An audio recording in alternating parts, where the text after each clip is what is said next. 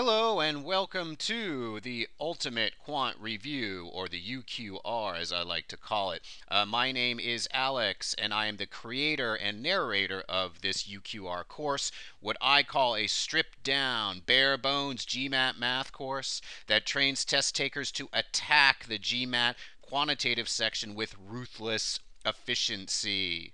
Okay. Um, what this video represents is just a basic um, introduction to how this course is going to work, as well, of course, as a free preview to the course which I should point out is as yet unfinished. Uh, so what this video is actually also functions as is kind of a placeholder. I need some kind of introduction to know in which direction I'm going, but at the same time, this video, along with the following videos, uh, represent a good free preview uh, of how the course will run so people can just see for themselves how effective, in fact, it will be. Um, in this video, I just need to discuss a basic introduction to how the course is going to run, uh, and I will do a sample problem, uh, and in the next videos, you'll see more just pure actual problems. Um, but that being said, let's just talk about an introduction to the course. So this basic introduction uh, to the Ultimate Quant Review as you might notice, no bells and whistles in this course, okay? Uh, it's just the very best GMAT math strategies on the market. I have been doing this now for well over 12 years. I have worked with hundreds and hundreds of students, and I really do believe I have developed the very best quantitative math course, uh, GMAT math course on the market. It's really great, okay, in my humble opinion. Um, one prerequisite, though, that people should know is that you do need to have competent math skills to fully appreciate this course. And what I mean by that is you have to be comfortable with algebra, like solving for x, uh, two equations, two variables, or uh, dealing with fractions, adding and subtracting, or exponents and radicals, moving that stuff around. Uh, you do have to be comfortable with that. Um, because most of the math questions in this course are high level. Okay, most of them are six to 700 level, and many are seven to 800 level. Okay, definitely a more advanced course. What this course is going to be designed to do is to have those students already comfortable with math, get them into the much higher ranges of the GMAT. Uh, that's what this course is designed to do. Um, all of the questions are derived from actual the official guides, which everybody should have, uh, from the tests on MBA.com and the from the four major GMAT prep companies uh, courses. Okay, um, they are designed to really parallel exactly what students can expect to see on the actual day of the test. Now, to fully appreciate um, how this course runs, it is certainly not a requirement, um, but to fully appreciate this free preview, you are going to want to download and print out a couple of things from my website specifically where it says UQR questions. So those will be the questions that we'll be working out of during the free pre preview and the course. And then the UQR manual, uh, that is my GMAT training manual that shows students exactly what to do with any math question that they might see on the test. Um, at this point, you need to know that the questions are actually limited, okay? Again, because it's for the free preview. Again, the course is not quite finished, um, and only part of the training manual is available. However, as part of the UQR manual, I've provided the table of contents, and that should provide an excellent preview for the entire training manual. Just in case you're wondering what exactly does this course cover, uh, the table of contents will list everything that this course will cover. Eventually, I expect this UQR course to be uh, fairly extensive, anywhere between 25 and 35 hours. That would mean for viewing time, 50 to 70 hours, okay, of viewing time. Um, let's talk about, though, what you should kind of see on UQR questions and UQR manual, just to make sure that you have everything that you need. You don't have to have it, uh, but it's really the best way to appreciate this free preview and certainly the course. So UQR questions, um, your first page should look like this. Uh, it's kind of cut off, uh, but it should look like that. Uh, that should be your first page. So notice that, you know, and we'll talk more about that, but notice here at first you have some general guidelines and then an actual question. That's what your UQR question, the first page, should look like. Um, and then the manual, uh, this is what the first page of the manual should look like. Uh, notice towards the bottom top 14 triggers, I mean, it's got cut off there because it's obviously a little bit longer, but this is what your UQR manual should look like. Um, and the idea is you're going to have kind of both of those out in front of you as we work through this course. But I will put both the the questions and the manual up on the screen as you see now. I will put them back up on the screen. That's why you don't have to have it, uh, but it's certainly going to be uh, very helpful and a good way to appreciate uh, this free preview. So before I go on to a question, I just want to talk about really quickly um, why I think my course is just the greatest thing since sliced bread. Um, basically for two reasons, okay? Uh, and again, this is something I've developed over 12 years with hundreds of students. Um, my general methods and my specific methods. Those are the two main reasons that I believe this is really the very best math GMAT math course out there. Uh, my general methods, I have this killer trigger method for problem solving. It's a two-step method. I also have a three-step trigger method for data sufficiency. I'm not going to be talking about data sufficiency in this free preview simply because that requires kind of a different type of knowledge base and i just don't know enough about my viewer yourself thank you very much uh, about like what you do or do not know about data sufficiency. Problem solving on the other hand is a little bit more straightforward uh, but never you fear i that my method for data sufficiency is freaking awesome um, okay, so those are my general methods, but I also have specific methods, okay? And if you take a look at my table of contents, I really do have a specific method for every concept, and a lot of these methods are not anything else that are on the market. Okay, I mean, I'm talking about methods for number properties, multiples and factors, even and odd, prime factorization, uh, products of consecutive numbers. I'm talking about rates and working together, and percentages and mixed uh, mixture questions, dilution questions, weighted averages, permutation, combination, probability, geometry, what have you. I really have some terrific specific methods for every concept. Um, and hopefully you'll see some of those in my later videos. Um, in this free preview.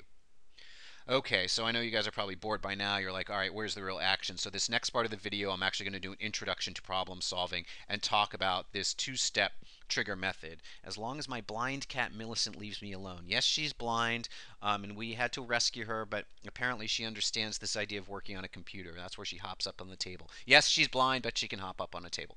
All right, so let's talk about this question. So let me just go over a little bit here. This is on your UQR questions page. Uh, so this is, again, the first page, quantitative problem solving, the trigger method, two steps.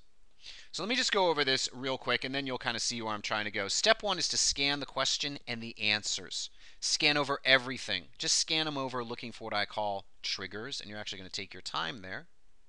Step two is based on that trigger, you got to do the right thing, and there you got to get moving. So let me talk about what do I mean by triggers. Well, notice if you see trigger here, a trigger is a mathematical concept expressed in the question stem and or the answer choices. So classic example of triggers under top 14 triggers what i'm going to talk about are two of the top 14 triggers namely fractions and repeated variables and a common multiple so you know a fraction that's a mathematical concept that's a trigger Repeated variable, that's a mathematical concept. That's a trigger. As soon as you see a fraction, that is a trigger for you to do something, which I have not talked about yet. As soon as you see a repeated variable, that is a trigger for you to do something. No, I haven't talked about that. For example, if I take a look at this question here, if b is not equal to 0, then what is the value of a in terms of b if? Notice I have a fraction here. That's a trigger. Notice I have a repeated variable of A here and A here. I have a repeated variable B here and B here. Those are triggers for me to do something. Okay? So the idea is to speed you up. I don't teach students how to reduce fractions or how to eliminate fractions. What I do tell students as soon as you see these fractions, you know what to do with them. Or as soon as you see these repeated variables, you know what to do with them. This is the idea of this trigger method. So what I'm going to do is the best way to explain really what's going on here um, is to actually do this question um, in the context of the two-step trigger method. And I'm going to do that by kind of getting rid of all this junk and just talking about the question. Ah, there it is. So Step one of the trigger method is scan over everything. So not just the question, but I'm going to scan over everything, including the answers. Why? Because if I'm not too sure what the question is asking for, what is the value in A in terms of B? If I'm not too sure of that, but I look at my answer choices, notice that it's telling me these answer choices are telling me to solve for A. I'm supposed to isolate A or solve for A. So again, you always want to look at the answer choices. Just glance over them. Now, some students already familiar with the GMAT might be thinking, well, we have variables in the answer choices here, can't I pick numbers? And in fact, you do not want to pick numbers here. Now, um, the reason for that is because the nature of the question. That's beyond the scope of this particular video. I go over that later in the course, not in this free preview. um, but there is actually another trigger here that tells me that despite the fact that I have variables in the answer choices, I don't want to pick numbers. Um, for those of you that are not familiar with this idea of picking numbers, don't worry about that. Uh, again, that's for later on in the course. And again, I will talk about later on in the course uh, what the trigger is for not picking numbers here. But that's beyond the scope, okay, of this particular question because what we're going to focus now on, now that I've kind of done my step one. I've scanned it over, I've noticed my answer choices, and I've noticed my two triggers. Again, I have a fraction here, and I have repeated variables, A and A, and then I have B and B. Okay. So step two is based on those triggers, do the right thing. Well, when I have a fraction, that trigger tells me to either reduce, eliminate, or pick numbers.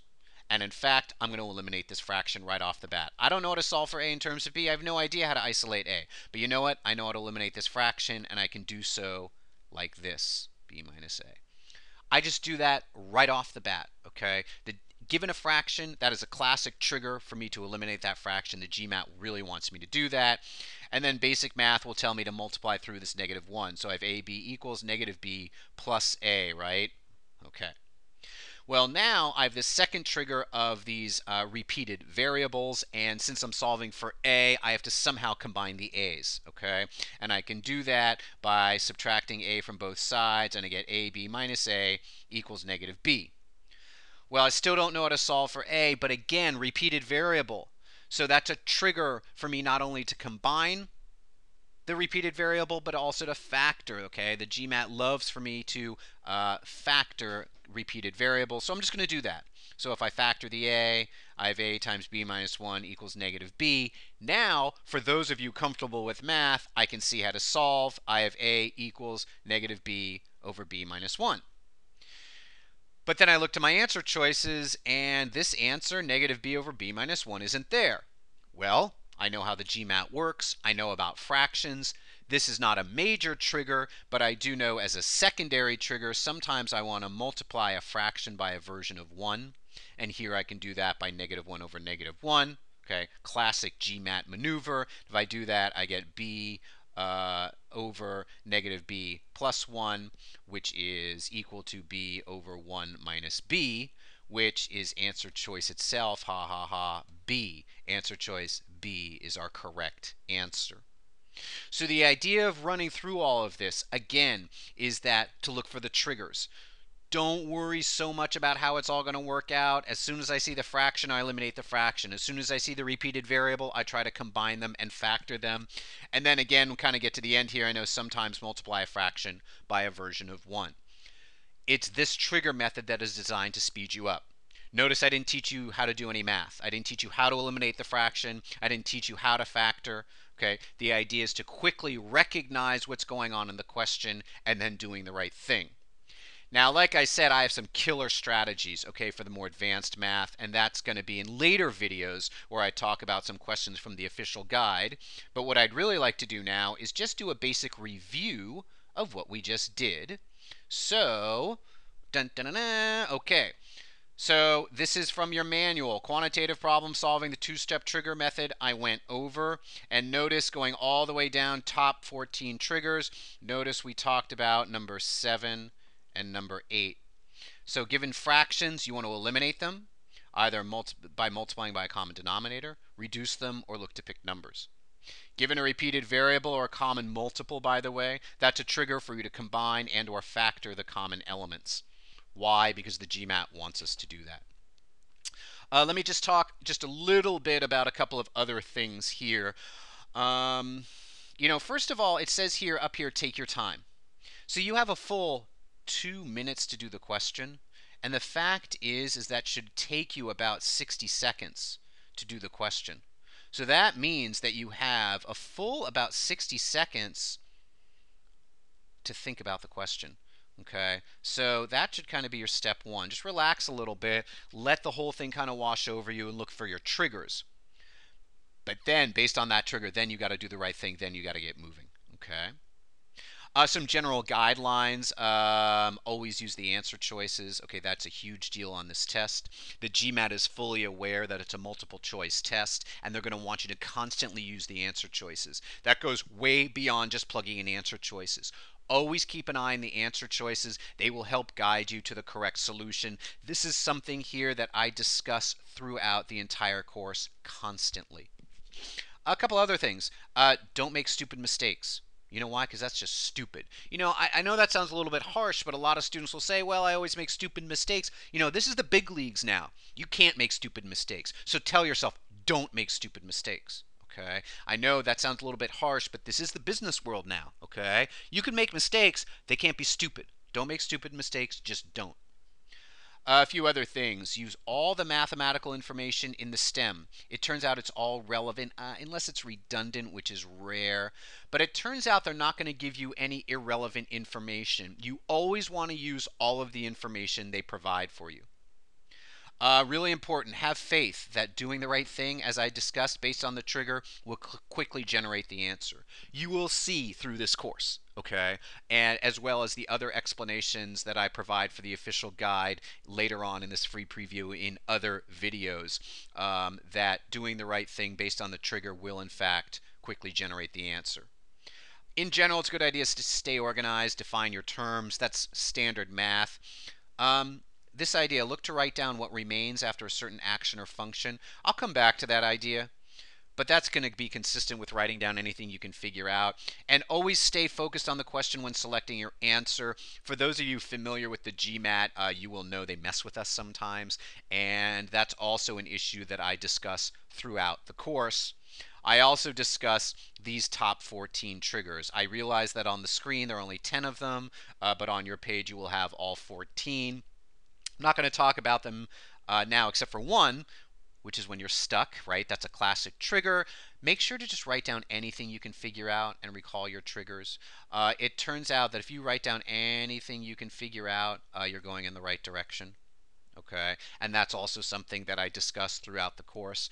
Um, these 14 triggers, yes, I realize that are cut off. This, these are also something I discuss throughout the entire course, and then I review it at the end of the course as well. Um, they really are very important. Um, they are the 14, what I believe to be the most common elements of this test. Uh, I don't have exponents and radicals. I thought about putting that on there, but that's kind of basic math. But in any case, this is how the course is going to run, okay? Um, so this is how the UQR goes. Uh, you saw that what I do is I, I, I, explain a problem based on the trigger, and then I do a review like I just did. Um, I really hope that this is something that helped you out um, and that you learned at least a little bit, and especially enough uh, to continue on checking out my other videos. So thanks very much for your time, and I hope you'll take the time to check out my other work. Thanks again.